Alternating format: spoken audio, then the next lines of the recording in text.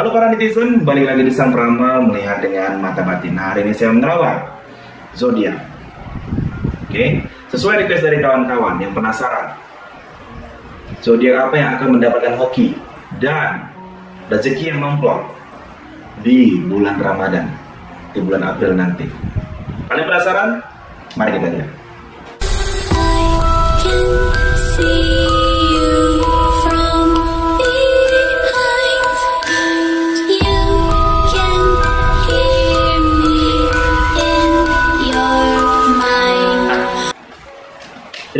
kawan-kawan yang sudah request untuk ya Bayusik meramalkan zodiak. Kebetulan saya dulu pernah ya meramalkan zodiak zodiak, tapi beberapa bulan belakang ini sangat jarang. Nah sekarang saya mau melihat lagi dengan mata batin saya. Oke, zodiak apa yang akan hoki di bulan Ramadan 2022 ini? Mari kita lihat. Nah, buat yang pengen di ramal secara personal oleh Biosik, boleh ya. Ada nomor WhatsApp admin kami di link deskripsi. Oke, mari kita lihat dulu zodiak Aries ya. Apakah Aries ini akan mendapatkan hoki dan keberuntungan yang nomplok di bulan Ramadan? Oke, kartu yang keluar adalah Five of Pentacle. Ada pria dan wanita yang sedang terseok-seok. Di sampingnya ada lima buah koin. Saya melihat dengan mata batin saya untuk Aries harus ya berhemat karena ada pengeluaran-pengeluaran yang tak terduga. Oke, ada nantinya ada orang-orang yang terdekat tiba-tiba mau ya meminjam mau berutang kepada zodiak Aries ini. Kita minta buka lagi untuk Taurus.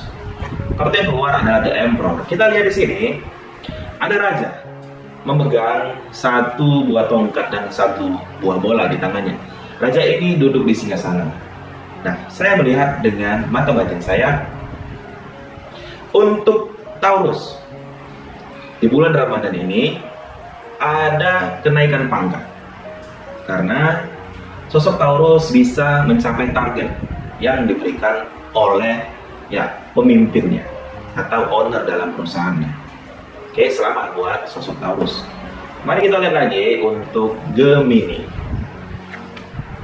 Kartu yang keluar adalah King of Wands. Kita lihat di sini ada raja memegang satu buah tongkat dan raja ini duduk di singgasana. Di singgasananya adalah menghewan yang apabila ekornya diputus kemudian ekornya bisa tumbuh lagi. Saya melihat dengan mata batin saya, sosok Gemini juga akan mendapatkan hoki dan rezeki yang nomplok di bulan Ramadan nanti. Karena dia ya disenangi banyak orang, bisa dipercaya sosok Gemini ini. Oke, kita buka lagi tiga kartu yang berikutnya. Nah, mari kita lihat lagi untuk Cancer ya. Leo dan Virgo. Oke. Apa yang akan terjadi? Akankah zodiak Cancer, Leo dan Virgo ini mendapatkan hoki dan rezeki nomplok di bulan Ramadan 2022 ini? Mari kita lihat untuk Cancer. Kartu yang keluar adalah Pen of Swords. Kita lihat di sini. Ada seseorang memegang satu buah pedang. Di belakangnya ada awan putih. Saya melihat dengan mata batin saya. Sosok Cancer, sosok yang polos, sosok yang tulus dalam bergaul, sosok yang mudah percaya. Nah, ini membuat dia bisa oke bisa dimanfaatkan oleh ya orang-orang di sekelilingnya. Nah, buat sosok Cancer ya harus lebih bisa memahami orang-orang yang pengen dekat. Tapi ada maksud lain. Kita buka lagi untuk Leo ya. Kartu kelima yang keluar adalah Ten of Cups. Kita lihat di sini ada keluarga yang sangat bahagia, ada anak-anak yang sangat ceria, dan ada 10 buah cups yang berbentuk seperti pelangi. Saya melihat dengan mata batin saya, rumah tangga yang harmonis, keluarga yang sehat, ya, dan harapan yang akan tercapai. Harapan yang sudah lama belum tercapai bagi Leo di bulan Ramadan nanti harapan itu akan tercapai dan terwujud. Nah, selamat buat Leo. Untuk Virgo, kartu yang keluar adalah Egg of Sword. Kita lihat di sini ada ya seseorang yang terikat, ya terikat tangannya, terikat matanya, dan di belakangnya ada delapan buah pedang. Nah, saya melihat dengan mata batin saya, sosok Virgo harus sangat berhati-hati dalam menerima ya saran-saran dari orang-orang di sekeliling Anda. Karena belum tentu ucapan-ucapan dari orang-orang sekeliling Anda itu ya benar semua. Jangan mudah percaya. Takutnya nanti ya Anda terjerumus ke satu hal yang tidak Anda inginkan. Nah, kita buka lagi tiga kartu yang berikutnya. Untuk Libra, Scorpio, dan Sagittarius. Terus yang mana yang akan menyampaikan hoki dan rezeki nomplok di bulan Ramadan nanti? Mari kita lihat Libra. Kartu yang keluar adalah Six of Pentacle. Kita lihat di sini ada seseorang yang memberikan koin ke orang lain dan orang ini membawa satu buah timbangan dan ada enam buah koin. Saya, saya melihat dengan mata batin saya karena sosoknya pemurah ya, oke, sosoknya belas kasih, sosoknya ya mudah membantu orang. Ini membuat rezeki nomplok akan menghampirinya di bulan Ramadan ini. Nah, tapi buat Libra, ketika mendapatkan rezeki nomplok ya harus ya disisihkan untuk ditabung. Oke, karena kita tidak pernah tahu apa yang terjadi ke depannya. Kita buka lagi untuk Scorpio.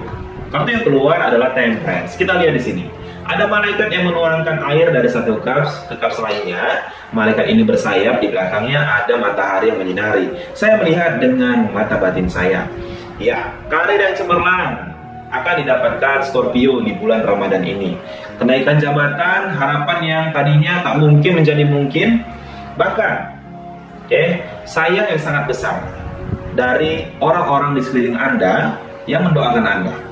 Itu akan membuat kehidupan Anda yang menjadi ya, berlimpah. Oke, okay, kehadiran Anda ditunggu-tunggu oleh banyak orang dan itu berdampak positif untuk karir Anda yang ya saya lihat ada kenaikan jabatan. Kita buka lagi. Sagittarius yang keluar adalah Dem. Kita lihat di sini ada tengkorak yang naik kuda putih memegang ya bendera dan ada orang yang meminta pertolongan kepadanya. Nah, saya melihat dengan mata batin saya untuk Sagittarius ya di bulan ini ya saatnya untuk berubah. Oke, okay? di bulan Ramadan ini saatnya untuk berubah. Oke, okay? kebiasaan-kebiasaan buruk di masa lalu ya tinggalkan demi kehidupan yang lebih baik di masa depan. Ada hal-hal yang mengganjal, ada sesuatu hal yang membuat ya tidak enak di hati, ya tinggalkan di masa lalu, ya ya segeralah yang meminta maaf jika ada salah dan tatalah kehidupan yang lebih baik di bulan Ramadan ini untuk Sagittarius. Nah, kita buka lagi tiga kartu yang berikutnya. Capricorn, Aquarius, dan Pisces. Nah, kawan-kawan yang resonan ya, boleh komen di kolom komentar ya. Kartu ke 10 yang keluar adalah King of Swords. Ini buat Capricorn. Saya melihat dengan mata batin saya. Nah, sosok Capricorn ini sosok yang tegas, sosok yang ya bijaksana, sosok yang oke okay, pemikir, pemikir ya memiliki suatu perencanaan yang matang, sehingga banyak orang-orang yang bergantung kepadanya, sehingga banyak orang-orang yang percaya kepadanya, dan ini akan membuat sosok Capricorn ini, oke, okay, mendapatkan jabatan yang penting mendapatkan jabatan yang dengan gaji yang besar di bulan Ramadan ini. Nah, nah untuk Aquarius, kartu yang keluar adalah Four of Swords. Kita lihat di sini, ada seseorang tertidur, di bawahnya ada pedang, di atasnya ada tiga buah pedang, dan dia melihat foto keluarga. Saya melihat dengan mata batin saya, untuk Aquarius ya di bulan Ramadan ini ya akan ya bertemu dengan orang atau saudara yang sudah lama tak ketemu. Dan itu membuat dirinya sangat bahagia Oke, okay, saya lihat ya sosok Aquarius ini ya walaupun nantinya ke depan ada larangan mudik ya, tapi sosok Aquarius ini akan yang bisa mudik, akan diberi cuti dan ya bisa bertemu dengan keluarga-keluarga yang ya sudah lama tak ketemu. Nah itu suatu rezeki juga. Kartu terakhir yang keluar adalah untuk Pisces ya. Kartu yang keluar adalah Four of Wands. Kita lihat di sini ada pria dan wanita yang sangat bahagia. Di depannya ada empat buah tongkat berbentuk seperti pintu selamat datang. Saya melihat dengan mata batin saya untuk Pisces ya. Setelah bulan Ramadan nanti akan melangsungkan pernikahan akan melangsung pernikahan karena ya rezeki yang berlimpah didapatkannya di bulan Ramadan ini. Membuat dirinya yakin untuk ya, menikah dan membangun rumah tangga. Selamat ya buat kita ya yang akan segera menikah. Dan inilah zodiak zodiak yang akan mendapatkan hoki di bulan Ramadan nanti. Ya buat yang belum mendapatkan hoki saya doakan ya semoga bisa mendapatkan ya rezeki yang ya banyak ya. Kesehatan keluarga yang harmonis ya itu rezeki juga bukan hanya uang. Oke kawan-kawan boleh komen di kolom komentar yang rasanya. Ya sampai ketemu lagi di sang peramal melihat dengan mata batin